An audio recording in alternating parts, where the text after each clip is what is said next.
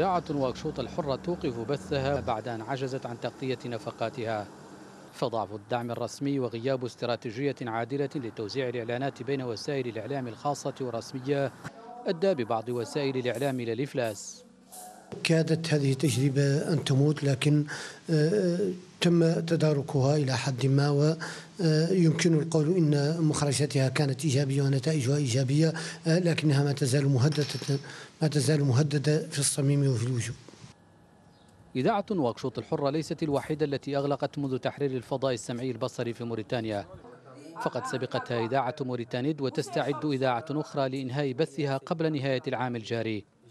وتيرة تنذر بتقليص الإعلام الخاص مقابل توسع مساحة الإعلان الحكومي ما يزيد المخاوف من العودة إلى الصوت الواحد الذي كان سائدا منذ استقلال البلاد قد كانت رؤية سياسية معينة بتحرير فضاء سمعي بصري كان فيما كان في السابق حكرا على الدولة وهي خطوة اعتبرناها في وقتها خطوة جبارة في في اتجاه حريات التعبير وفي اتجاه ترسيخ معالم الديمقراطية في موريتانيا.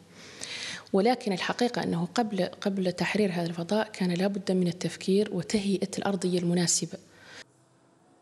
قرار الحكومة تجميد مخصص الاشتراكات في الميزانيات القادمة زاد من هذه المخاطر في ضوء عجز المستثمرين عن تغطية نفقات مؤسساتهم الإعلامية. فأغلب القنوات التلفزيونية والإعلانية مدينة لشركة البث بمستحقاتها.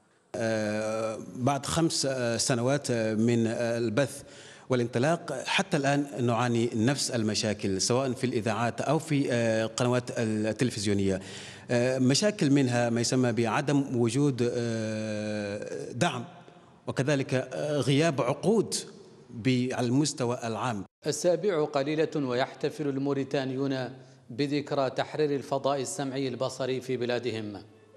وسيتزامن هذا الاحتفاء مع اختفاء عدد من الإذاعات من هذا الفضاء.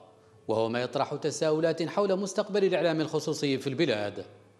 محمد فاضل حرة نواكشوط